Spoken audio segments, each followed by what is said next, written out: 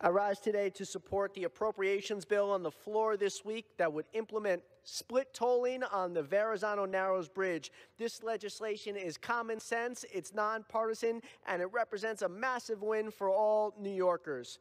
It addresses the unintended consequences of an archaic 30 year old piece of legislation that singled out Staten Island and South Brooklyn with the only bridge in the country whose tolling is controlled by Congress.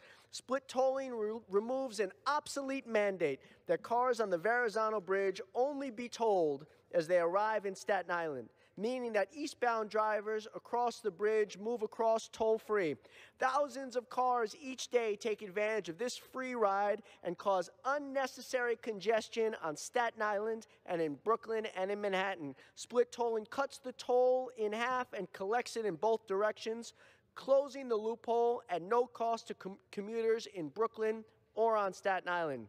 Cutting down on out of state toll shopping will also generate revenues from New York to invest in mass transit projects on Staten Island and in South Brooklyn, two places that all levels of government have consistently ignored or ripped off for a generation now. Finally, my constituents are starting to see a new day after a long commuting nightmare. Fewer cars on our streets, better buses, more mass transit options, and credible alternatives to reach the other boroughs. This is common sense, and we're going to get it done. Thank you, Madam Speaker.